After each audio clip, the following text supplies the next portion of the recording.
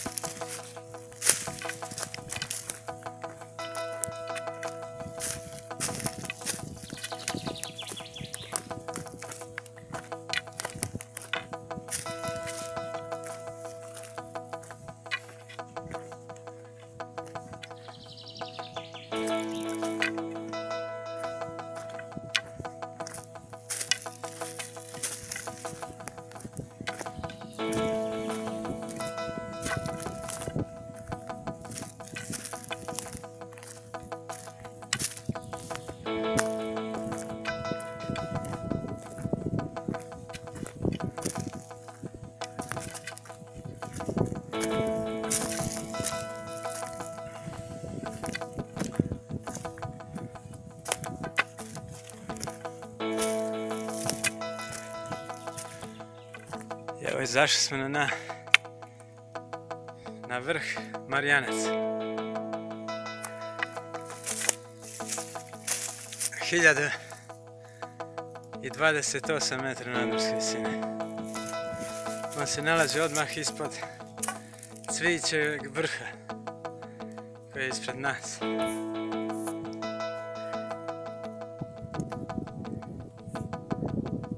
Tamo je vrh Paljevine. A iza vrh Tavan.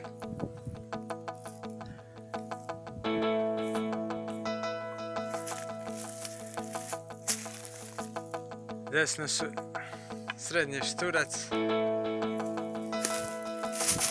i mali šturac. Odnosno, Prlinski vis.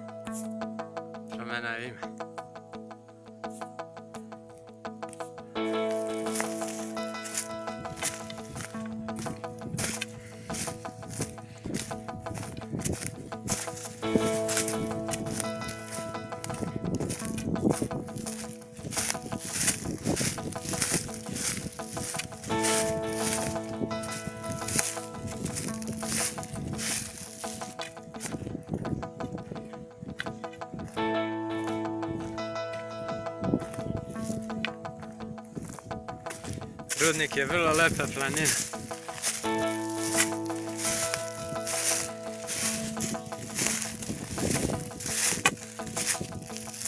Sa kratkim jačim usponima, ali uglavnom blage uspone.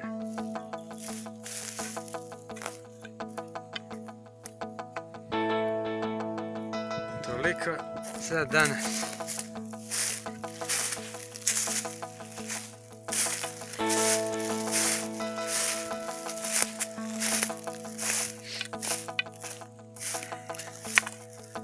Osmi vrh završen. Za današnju turu gotovo.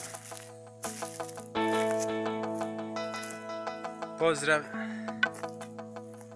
sa vrha Marijanovac. Planina Rudnik.